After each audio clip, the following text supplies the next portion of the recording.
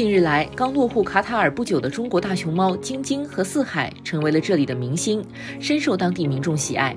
中国驻卡塔尔大使周健指出，大熊猫是中国国宝。迪卡之际正值卡塔尔世界杯举办前夕，承载着中国人民对世界杯的美好祝福。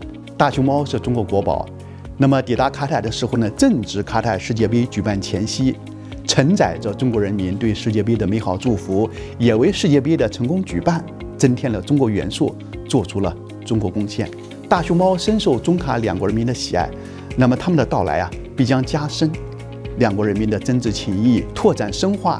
两国各领域务实合作，从而成为中卡友谊的新标识。根据中卡两国协议，晶晶和四海将在卡塔尔居住十五年。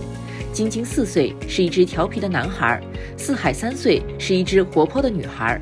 他们都出生于中国大熊猫保护研究中心卧龙神树坪基地。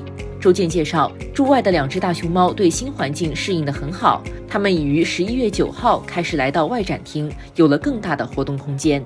晶晶呢特别喜欢新家的水池，而四海呢特别喜欢新家的大树。呃，有趣的事儿呢，他们现在说已经驻外了，但是他们还只认识四川口音。饲养员用普通话叫他们的名字，他们置之不理，毫无反应；而用四川乡音一声呼唤，他们就听话的跑过来。所以说，我说啊，卡塔尔工作人员在照顾好他们饮食起居的同时，正在努力的学习四川话。我想呢，这也是大熊猫促进两国文化交流的。佐证之一吧。